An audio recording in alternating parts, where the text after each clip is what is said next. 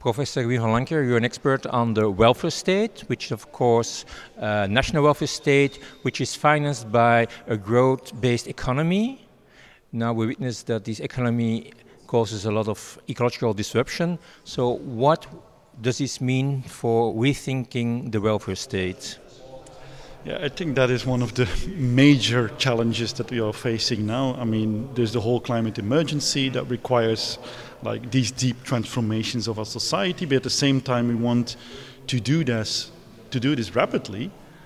But we also want to avoid increasing inequalities. We want to make sure that everybody's on board with this. Usually, we have the welfare state to do that, to reduce these inequalities. But the welfare state is growth based, really thrives on economic growth, and also contributes to economic growth by smoothing consumption, for instance.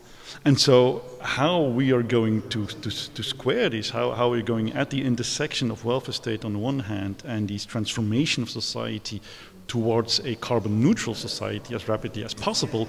On the other hand, that is a major challenge. Now, we don't, at this point, we, we not, don't necessarily, certainly not as academics, have like the ultimate answer to that, but it, it is a question that we need to confront head on.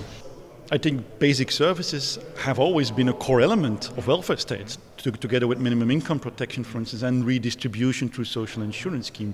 So basically, this idea of how this future society should look like already contains these elements in the current welfare state. Only the problem is that currently we finance basic services like healthcare, uh, like education, but also care services like childcare, for instance, or long-term care.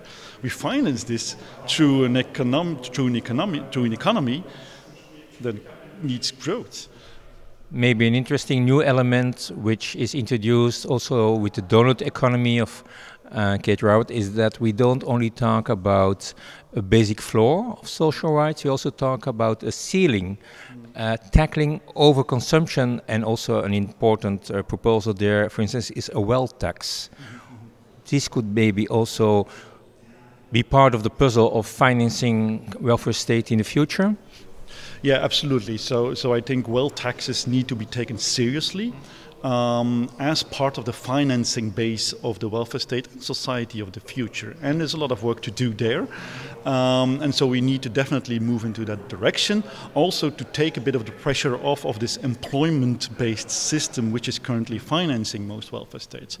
But at the same time, we need to do this in a way that garners sufficient public support. Mm-hmm. And we know that public support for these kinds of systems is not always at a very high level. So that is also a big challenge challenge. How can we make sure that people are on board with this, are ready to support these kinds of policies?